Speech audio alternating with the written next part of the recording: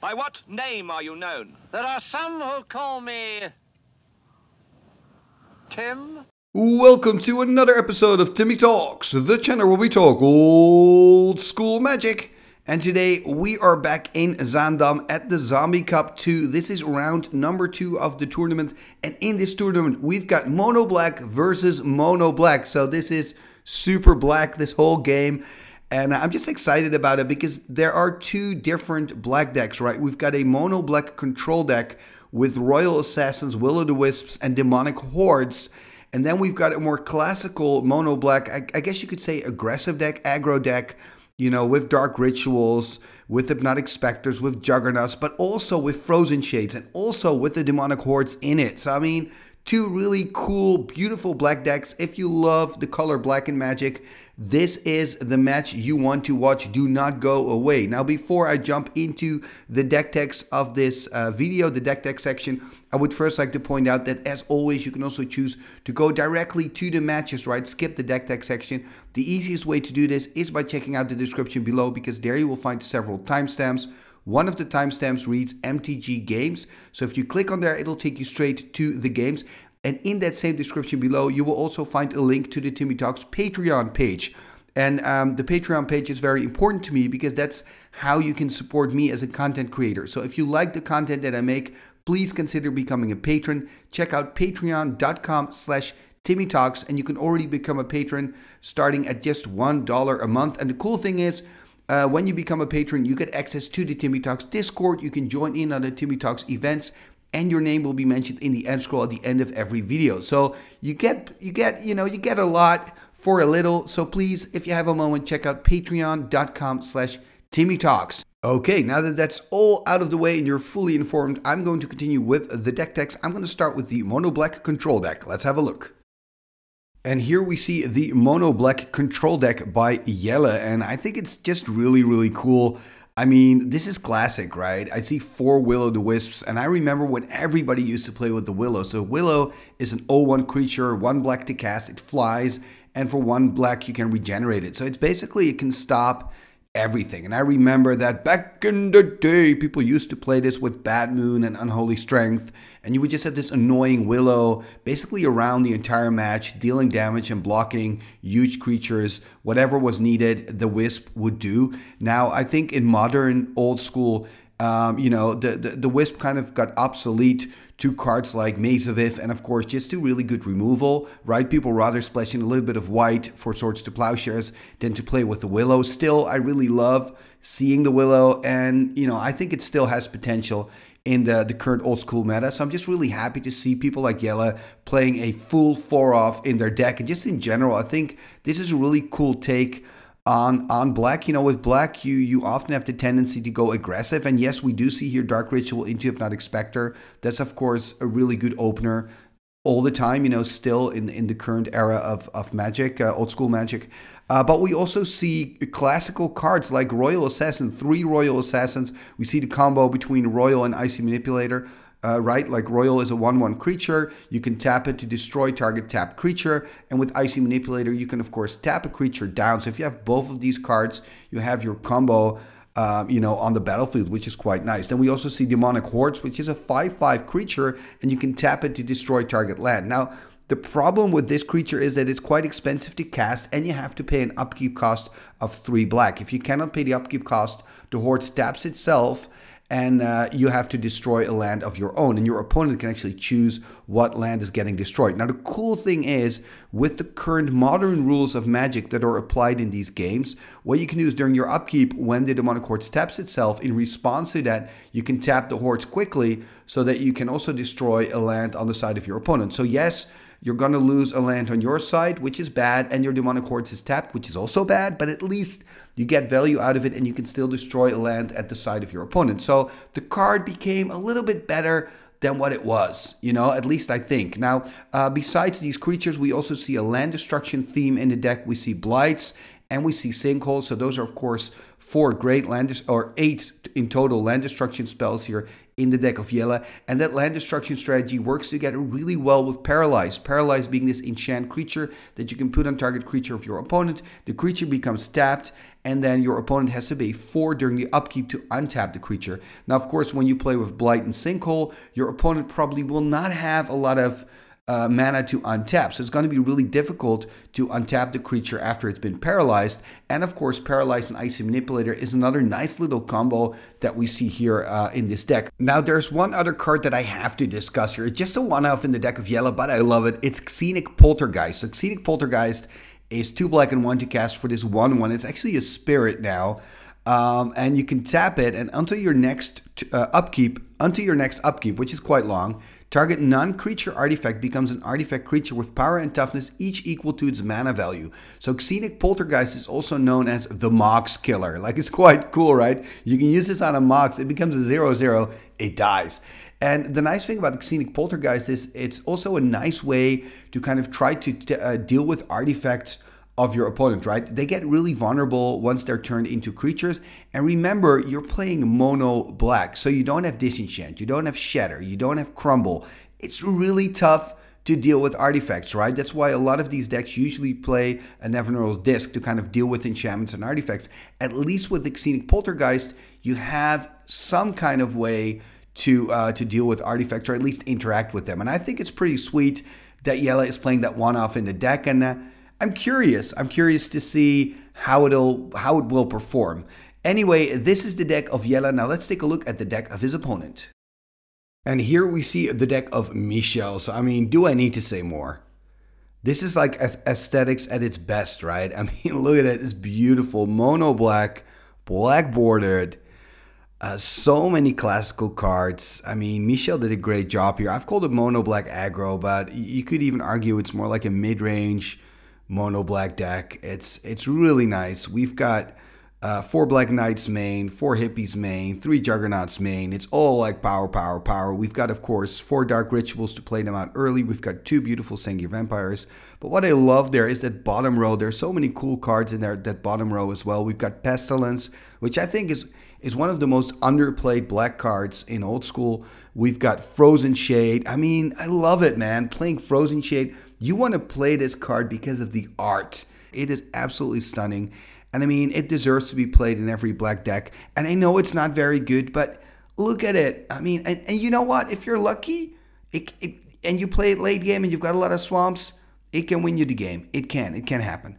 Um, and then the cool thing here is Michel is also playing with demonic hordes. So Jelle is playing with the hordes, Michel is playing with the hordes. I mean, how often does it happen that there's a match at a tournament where both players are playing demonic hordes. I mean, you hardly see the hordes, and now we've got two in a match. So I'm like really looking forward to see the demonic hordes in action. But my my favorite, I think, in this matchup is going to be that Frozen Shade. I mean, if I'm looking, by the way, at this deck and compared with Jelle's deck, then we do see two really completely different takes on Mono Black. I mean, this is really more the traditional take of Mono Black. This is all core set, by the way right? There are no cards from the uh, Four Horsemen sets in here. It's all core set, so that's quite cool. It's all black bordered. And I mean, there are four Drain Lives in here. I think Michel could win it on the Drain Life. One of the problematics uh, or problematic cards in this deck that I see or the four terrors that play set because in this matchup they're going to be useless, right? So those are four cards that he will have to board out as quickly as he can, right? Try to get something more useful in. I don't see any uh, sideboard cards, by the way, here in uh, on this picture, but I do believe he did play with a sideboard, so we'll just have to wait and see what what he's going to board in after, because I'm quite sure he's going to board out those terrors because they're simply, you know, dead cards in the deck. He's also playing with uh, two paralyzes, so perhaps he's got some extra paralyzes to board in there and maybe some more Sengirs as well. That will be quite nice in this matchup. So yeah, I mean, um, this is going to be cool. I'm really looking forward to it. I'm hoping for you know for some frozen shade action that would be really sweet and also maybe a nice demonstration of how powerful pestilence is because like i said i really think this is one of the most underestimated cards in in uh, in black i mean it's it's so good you know and i think we see underworld dreams getting more more action, right? There was a moment in old school where that card was only used in specific dedicated Underworld Dreams decks, and now we see the card more and more. I think same can be said with Pestilence. I think in a lot of decks it would be really good as a one-off, just like the way that Michel is using it here in this deck. But it's just, just, just my opinion. Let me know in the comments below. How do you feel about Pestilence? Am I onto something, or am I just talking complete nonsense? Which is absolutely possible. Anyway, we've looked at the deck here of Michel. Uh, we've checked out the deck of Jelle earlier. That means we're ready. Let's go to round number two of the Zombie Cup. Number two. Here we go. Game number one, Mono Black versus Mono Black. Jelle here on the play, starting with a Mishra's Factory, passing the turn. There we see a Swamp into a Ritual. What are we going to see? Turn one Hippie into another Ritual. Turn one, turn one Sengir. I love it. This is so cool. Now, I am a little bit worried because remember, Jelle is playing with four paralyzed main. So, are we going to see a paralyze here? That would be pretty devastating. Yeah, there's the paralyze. Oh, that is tough. That is tough. But I, I, do love that, that turn one play. Just go for it. There's also a, a, Juggernaut in hand there as well, by the way. So does he have another ritual? No, he doesn't. That would have been cool to just go Dark Ritual Juggernaut now. But uh, it's not there. And I, I, I, again, I do love the fact that Michel went all the way for it, right? Going like, whatever, double ritual into Sengir. There's a second Swamp here being played out, by the way, by uh, by. He could now attack with the factory, chooses not to. There's a Royal Assassin. Oh, that is painful. That Royal's gonna gobble up that Sengir. Ooh, unless Michel can find an answer. Okay, playing a Paralyze, and actually maybe it's not too bad that it's gonna get killed because he also has an Animate Dead there in hand, so he could get the Sengir back later if he wants to. And now, of course, Jelle cannot uh, untap the Royal. Ooh, that is tough. A Mind Twist. This could be the game changer here, this Mind Twist. It was already looking pretty good card-wise for Jelle, but this, this Mind Twist really, really puts him ahead here. And he can start attacking uh, next turn. Or, of course, untapping the Royal and killing the Sengir. That's another option that he has. Ooh, here we see a Chaos Orb. So could flip now on the Royal exactly to save that Sengir. And then if Michel top, deck, top decks a land, he... Oh, that's a miss. Ah, man, that is that is unfortunate. That is unfortunate. If this would have been a hit, he really needed this to, to hit. That is uh, that is a bomber here. Also for the for this first game, because now Jelle is going to untap it using the four lands for that, so he can now destroy the Sengir. There we see a strip mine. Wow, that strip mine is also quite good here in this situation. Only two lands left for Michel. Is probably going to lose the Sengir as well. I mean, there's no rush here for uh, Jelle. Exactly, just passing the turn. He can do it on end step. There's another swamp. Yep, that's it. I mean, these these are just too many setbacks here for Michel. Does have to tap, of course, the Royal Assassin, so the Royal's now still tapped, unless he untaps it again. I guess I guess he's doing this verbally, saying he's going to untap it, and he is going to attack for one. That surprises me a little bit. Although he's got the Sol Ring, of course, so it's easier for him not to untap. But yeah, it's looking really bad here for Michel passing the turn. And that's the thing with this with with these mono black brews. It's it's hard to kind of get back from this this situation. If you would, for example, splash black, uh, splash white, then you would have always have this this balance option. If you would have blue, you could always you know get some card draw engine going or something. But yeah, this is just really tough for Michel's deck. There we see Hypnotic Spectre. He does have a Paralyze there. Could go for the Paralyze, but he's thinking about playing a Mana Drain, exactly Mana Drain for one, because he knows if he paralyzes the Hippie, Jelle has enough mana to untap the Hypnotic Spectre and still attack with it, and he's probably going to lose. Well, then he's going to lose to Drain Life. So choosing to kill the Royal instead, and kind of accepting that he's going to lose the uh, the Paralyze here. There's an animation here of the Factory. So that's 4 damage, going to drop to 16 and lose the one card in hand. That's the paralyze. And I mean, this is just again really difficult. What if uh, you know Michel now draws into a card with the casting cost higher than three? That means it's gonna be discarded the next turn by the Hypnotic Spectre, right? So, for example, if he if he finds a Juggernaut, he cannot play it out. The Sengir cannot play out. Demonic Hordes cannot play out. So I guess he's kind of lucky then finding a Drain Life, although it doesn't do much. But it's understandable that he kind of like taps out and plays it out here. And there's the untap by Jelle. So again, he can swing in for 4. Probably going to set Michel back to 13. And remember, um, Jelle is playing with Demonic Horde, so it would be really cool if you could draw into a Horde. So he has enough mana now to cast it. So that would be kind of epic. I believe it's 6 to cast the Demonic Hordes, and he can start destroying the lands on the side of Michel. So one card in hand. Looking at it a few times, probably cannot play it out. Has to pass here. I mean, this is so bad for Michel. Probably going to see a swing for four, and he's going to lose that card in hand as well. Oh, man, there's a blight. Yes. That's it. Michel saying, you know what, you've got this. There's no way that I that I can overcome this. So game number one being won here by Jelle, and now both players are going to dive into their sideboards, and we will catch back up with them in game uh, number two. Game number two, here we go. So it's one game up for Jelle. That means that Michel is on the play. Let's see what he can do. There's a swamp, and I see a whiteboarded card in his deck. So maybe the whiteboarded cards come from the sideboard. Could be. We'll have to wait and see. Anyway, Black Knight here, turn 2, 2 2 first striker, protection from white. And there is a sinkhole here taking care of one of the swamps. So a lot of land destruction right in the deck of Jelle. We've got four blights, four sinkholes. Also four sinkholes, by the way, in the deck of Michel. We haven't seen that yet. We can kind of see the hand of Michel, right? We see Paralyze. I see Juggernaut there. There's another Swamp here by Jelle, by the way. Are we going to see a 3-drop? He is playing with Royal Assassin. Also, Hypnotic Spectres are in the deck. We haven't seen a single Will-o'-the-Wisp, by the way, on the side of Jelle. He is playing with a full playset. Haven't seen that card yet. He's a little bit in the tank here. So I guess he's got some options. Tapping 3. There's an Hypnotic Spectre. I mean, that's sensible, I guess. You know, you take two more damage, but next turn you can potentially take a card. There's a Paralyze, though. There's the attack. So Jelle dropping here to 16. There's the untap. Of course, doesn't have the 4 mana to untap the Hypnotic yet. Also see a Paralyze, by the way, in the hand of Jelle there. 4 lands now for him. Also, Michel again missed a land drop, so he's really light on, on lands here this match so far. There's a Paralyze. I mean, those Paralyzes work together so well, also with the Royal, but also with that land denial plan. It's really working here for Jelle. And now we can do potentially a Drain Life for one on the Royal Assassin. Exactly, that's what I would do as well. Going up a life, going up to 21, I believe. Exactly.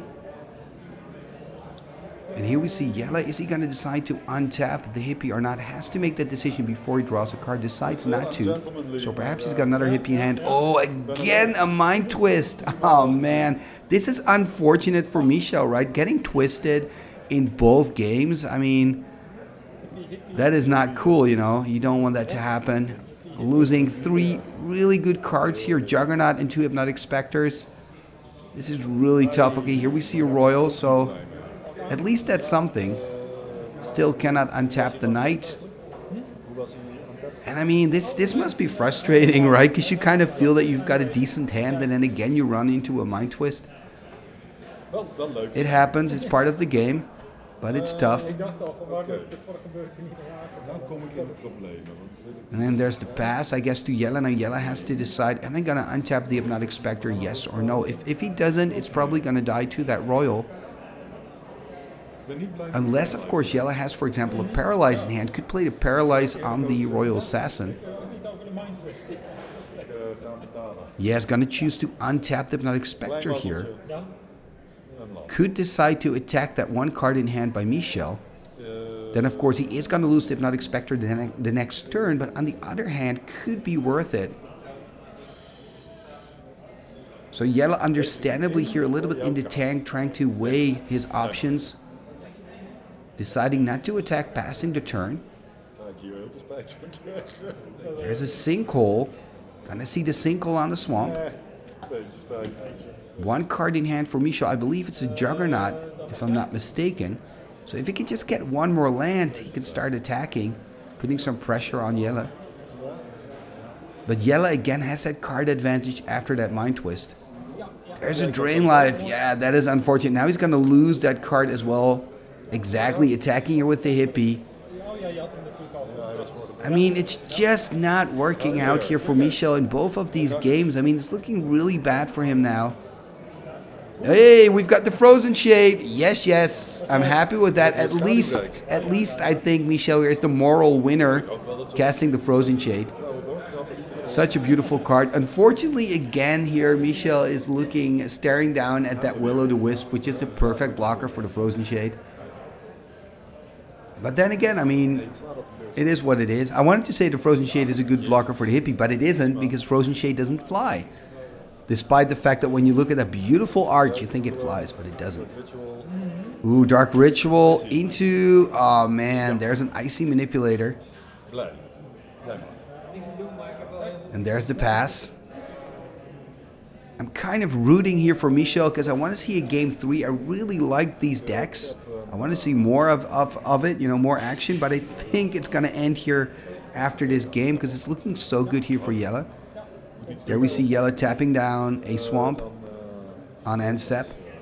And now he's going to untap the Hypnotic Spectre. That makes sense because you want to take out that one card in hand. There's another swamp. There's the attack flying over the frozen shade. Oh man, that Nevinyrral's disc would have been so good. So the disc coming in from the sideboard would have been so good for Michel. It could have solved all his problems. Oh man, tapping down the shade. There's another sinkhole, but I mean, that's just not going to do anything here. Of course, he has to play it out, or else he's going to lose it to the Hypnotic Spectre. So, again, it's this situation for Michel that we saw in game one as well. He has to play out all the cards that he draws, or else he's going to lose them to the Hypnotic Spectre. It's, it's really tough because even if he top decks, let's say, a Drain Life, he doesn't have enough mana to then kill the Hypnotic Spectre. So, I mean, I think if I would be Jelle, I would just really maybe just keep untapping the Hypnotic here, deciding not to. I guess his, his his reasoning is that he wants to be able to tap down the Frozen Shade. That is exactly. Uh, oh, that's not what I want to say. That's exactly what he does, but that's not what he does. He's going for the swamp instead. Oh, look at that! Using a dark ritual to untap his hypnotic. Why not? You know, why not? Attacking here, Oh! uh, losing the hordes. We haven't seen a single demonic hordes, by the way, in this match. Well, I mean, we're seeing it now, but not on the battlefield. Michel dropping to 15. Ga je gang. Dan ga ik een land tappen. Ja. And there's a tap out the swamp. There's another swamp here for Michel and a pass turn. I mean, there is a little chance, right? At least he now has three untapped swamps, so that's something. Nou gaat het toch van mana iets meer ergens op lijken, maar And yeah, really, I want to say, for a moment there, I thought Jelle wasn't going to attack, but he is. So Michel on 13. Ga je gang. So I mean, at least at least it's going really slow. There we see again the tap down of the swamp. There's the pass.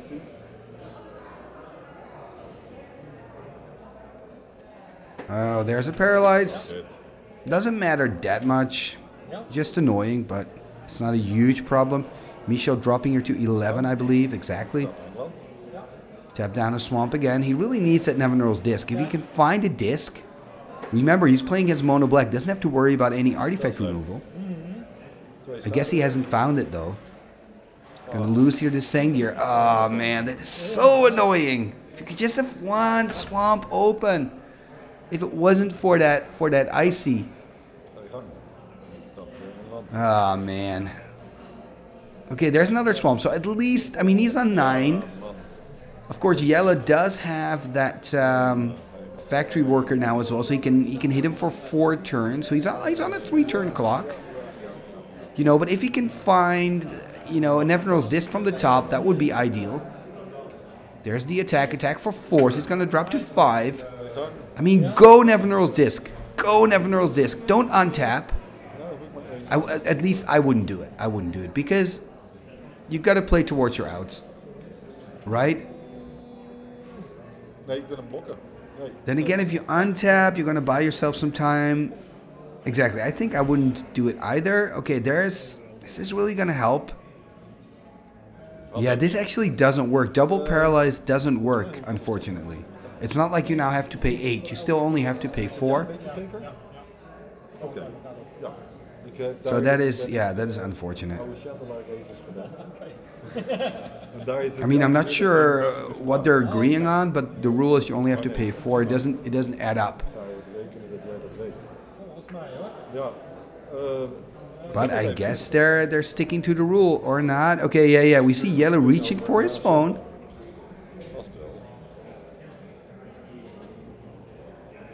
where he will probably come to the same uh, conclusion. So what we're going to do, I'm going to skip a little bit ahead in the video, and then we're uh, we'll see that uh, they've probably found out that you only have to pay for once, and it doesn't add up. And here we see, yeah, exactly. Here we see Michel changing the target. Right, both players now came to that conclusion. So changing it here to the willow, but it's always kind of nice to be reminded of this. So I guess the willow is now tapped down.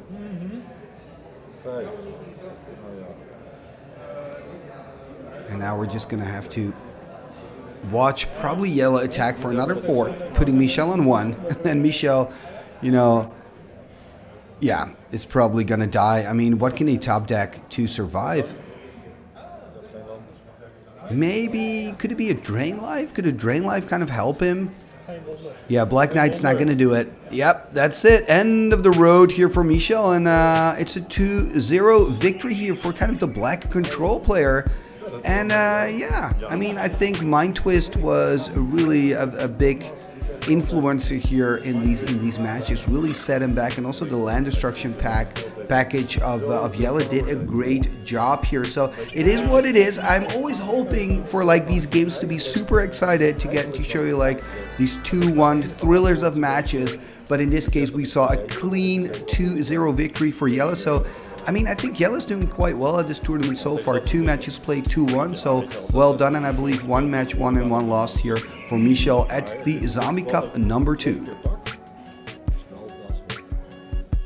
And that was round number two here from the Zombie Cup 2 in Zaandam, the Netherlands. Join me again next week for round number three, where we have these two beautiful decks fighting it out against each other. We've got Blue Black Dreams taking on Blue Black Green Titania's Prison. So, two completely different decks going face to face next week. So, if you don't want to miss that and you're not a subscriber yet, make sure to hit that sub- subscribe button and ring that bell because then you will not miss a thing. Whenever I update anything, you will get um, a message in your YouTube feed that there's a new video up. So if you don't want to miss a thing, sub. And of course, before you go, there are three things that you can do to help the channel move forward that are completely free. That is liking this video, sharing this on your socials, and leaving a comment. All these things are, like I said, free and really help the channel move forward. So please do one of those three things or all of those things, and you have my eternal gratitude. Talking about gratitude, if you enjoy the content that I make, please consider becoming a sponsor. Check out the Timmy Talks Patreon page on patreon.com slash Timmy Talks. And if you decide to become a patron, your name will be mentioned in the end of the end scroll at the end of every single video. What end scroll? This end scroll.